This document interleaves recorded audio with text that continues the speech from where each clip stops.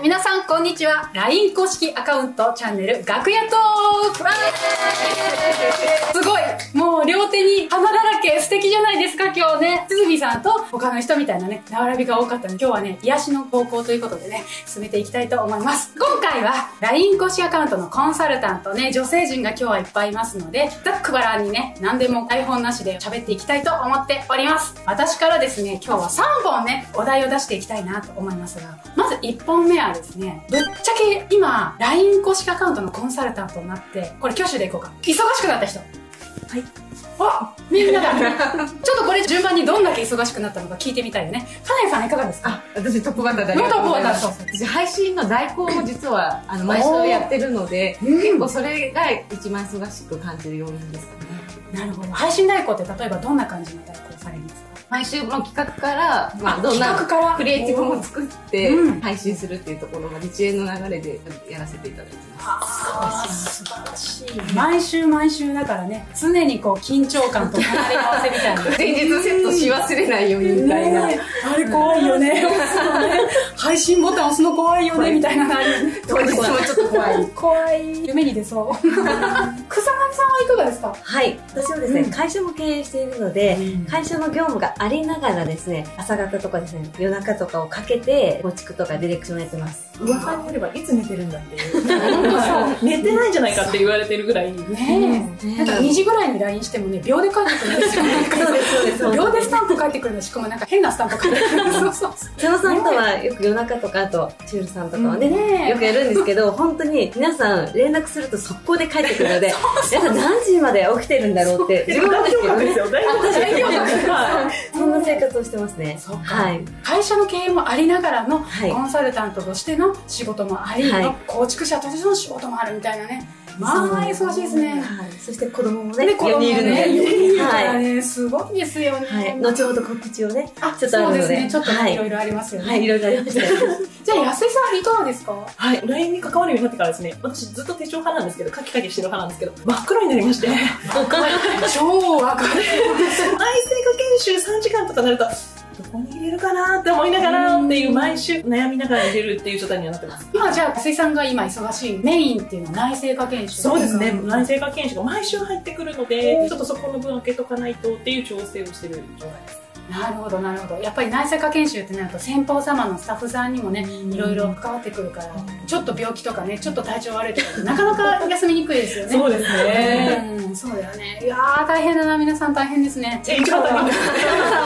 あ私か、私はセミナー業をやっていたりとか、デザインね、実務っていうのがやっぱりあるので、大体お客さんって業務が終わってから夜7時、8時ぐらいにやっと返事が来るんですね。で、そこからはやっぱ仕事が始まるような感じで、3時、4時とかでね、あの一緒ですねやって一緒ですね。ね。家族にはですね、前もって弁当は夜作ってるから朝勝手に持ってくみたいな感じ、もう朝はもう作らないみたいな感じに最近はシフトチェンジしておりますが、いやー皆さんお忙しいですね。いやー素晴らしい。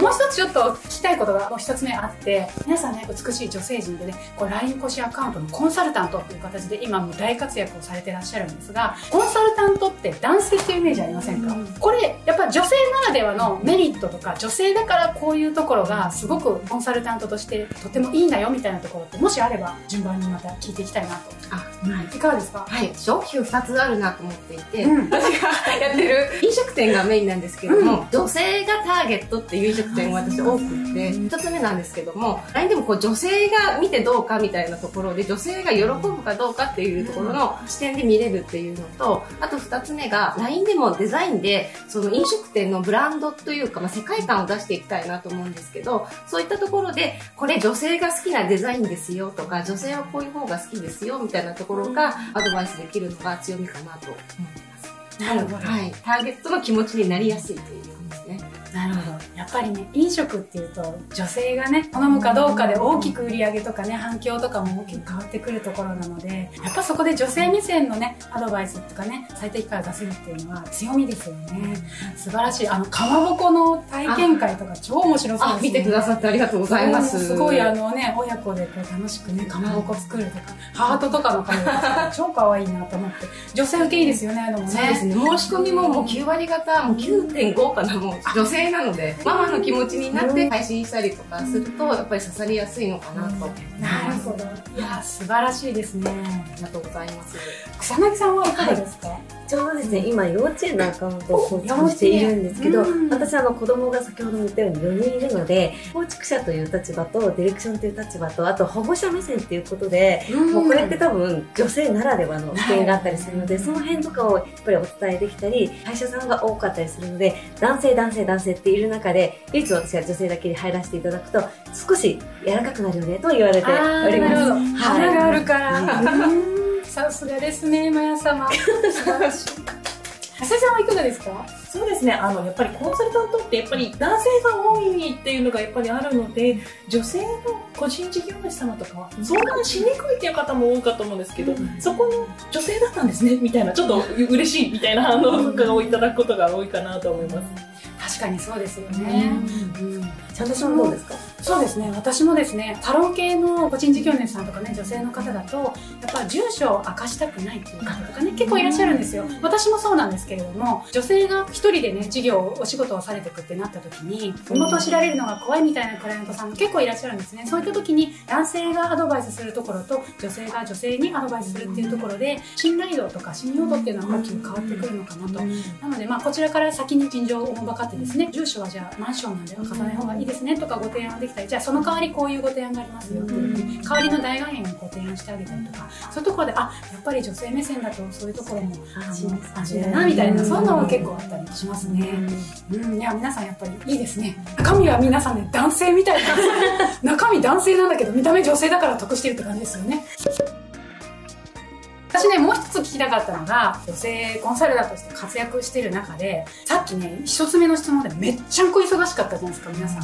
これ、家族の理解とか、どうしてんだろうなっていうのは、すごい気になるとこですよね。カナダいかがですか？あ、私はですね、コロナのおかげでっていうとちょっと変なんですけど、夫が在宅でいることが増えたので、なるほど。結構、あ活用っていうとすごい、男性を活用はい、あの、お願いさせて、はい、もらう、最後の切り札みたいなところで、はい、お願いしたりしてますね。あ、じゃあもう結構、お子さんもいらっしゃるし、はい。この家事とか子育ても割と協力的にやってください。そうですね、ちょっとまあ半分脅しかなとは思うんですけども、はい、保育園なので、やっぱお迎えの時とか、ね。はい、いろいろお願いさせてもらってます。うん。実際こう保育園のお迎えとかもやっぱ男性が増えてきてるんですかね。すごい増えてますね。やっぱりそうなんだ。はい。そうだ。よねやっぱ在宅ワーク増えてきたから。そうなんですよ。いやいいんですね。でもなんかそういう点ではコロナも、まあうん。良くないけれども男性の女性領域に進出してくれたみたいな見方をすればなかなかいい機会だったのかなっていう感じが本当ありがたいですね。ありがたいです。よ我々にとってはすごいありがたいですよね。は感じですよね草薙さんいかがですか？そうですね、私パートナーがちょっと若干いないので、チャンスですすよいません、あの、募集今してますので、マヤのこの辺に空いてますので。お願いします。概要欄から。はい、こちらからお願いします。前のここ空いてますよ うちはですね、子供がですね、もう上が高校生だったりするので、大きいですねあの、そうなんですよ。うんなのでですね、私はですね、子供たちに、私は好きなことを言ってるからですね、子供も好きなようにやっていいよっていうのが、うちの工夫になっているので、子供がありがたいことにですね、理解して、私は夜中までやっていても、ママ大丈夫？って言いながらもですね、ありがたいことに、好きなようにやらせていただいてます。うーん素晴らしいですねまあ家族の理解って大事ですよね本当にありがたいです。安井さんはいかがですか？うちはですね、LINE に関わるようになってからですね、旦那さんが夕食後、お皿を洗うっていう。